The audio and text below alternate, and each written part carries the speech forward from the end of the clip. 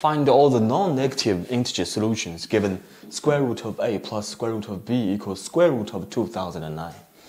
So instead of squaring both sides, we first move this term onto the other side, then square both sides. So square root of a equals square root of 2009 minus square root of b.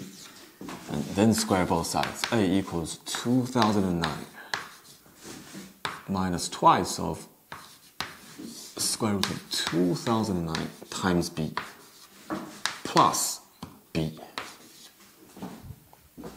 Now this time we only have one term that contains square root. And uh, notice a is an integer, b is also an integer. So in fact, 2009 can be written into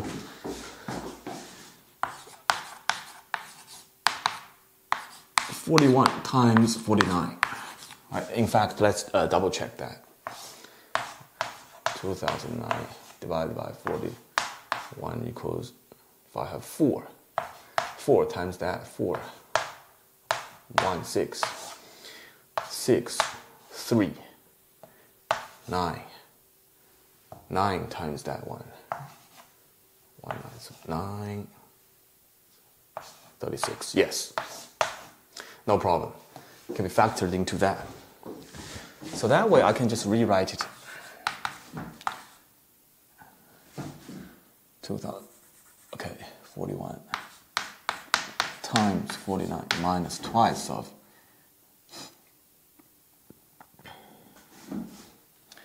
twice of uh, 41 times 49 b. And in fact, for 49. 49 square root is just 7, so we just take take that out. Right, take 7 out. 7 times 2, 14. Still have square root, we have 41 times b plus b. And so in order to make sure a is an integer, non-negative integer, we have to make at least make sure that this this number is a positive integer, a non-negative integer. And so since 41 is not a square number, so which means to make up a square number, I have to make sure b contains at least a factor of 41. So that 41 times 41, that's a, a square number. And as for b, as for the rest of factor of b, we ha also have to make sure it's a perfect square. So in other words, we just have to make sure b is in the form of 41 times n squared, where n is a non-negative integer.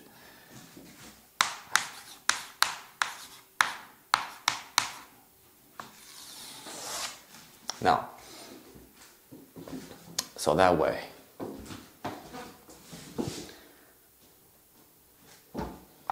that way a is equal to 41 times 49 minus 14 times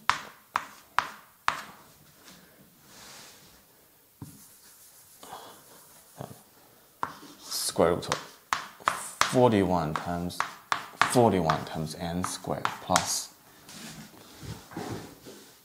41 n squared. So that way, a is equal to 41 times 49 minus 14 times so I just take 41 out, right? 41 perfect square times 14 times square root of n square. That is n. Right, we're going to determine n. There is some restriction. Plus 41 times n square. So that way, a is a really a positive integer, non-negative.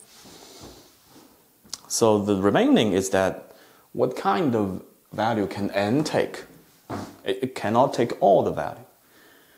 So here we say square root of a is non-negative. So this is non-negative.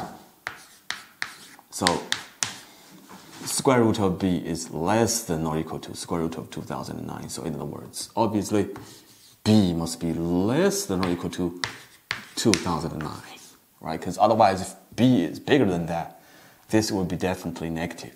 So this is our restriction. So in other words, since b is less than so 41 times n squared is less than or equal to 2009. Divide, er, divide both sides by 41, right? We know that 41 times 49 is 2. So immediately n squared is less than or equal to 49. So immediately n is less than or equal to 7. And bigger than equal to 0. 0 is allowed, right? So if if n is equal to 0, b is immediately 0. If b is 0, then a is just 2009. Right? So, so that way, immediately we have eight different solutions, eight sets of solutions. Right? So we just, uh, we just substitute, substitute n equal 0, 1, 2, 3, 4, 5, 6, 7, right? one by one into, into here. We work out B, right? Then subsequently we work out A. We work out A. Right, so n, n equals zero. For example, uh, first solution, first one, n equals zero, B is equal zero.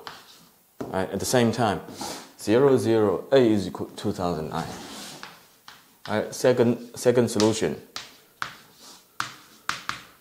n is equal to 1, b is equal to 41.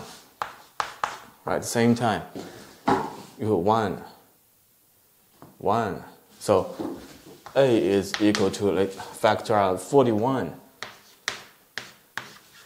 49 minus 14n plus n squared. And a is equal to 41 times perfect square. So 7 minus n, I believe, quantity square, right?